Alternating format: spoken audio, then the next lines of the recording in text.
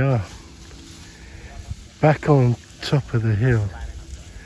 And uh, I mentioned this before about this being an old archaeological site. And I think now you can clearly see a building here.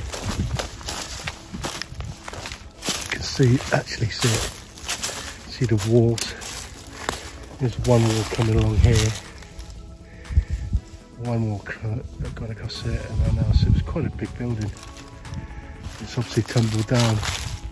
And on top of the hill there, there's another one. And over here, maybe at some of the, still some of the rock. But there's, there's huge pieces, piles of rock everywhere. You can see one in the distance there. Another pile of rock over there.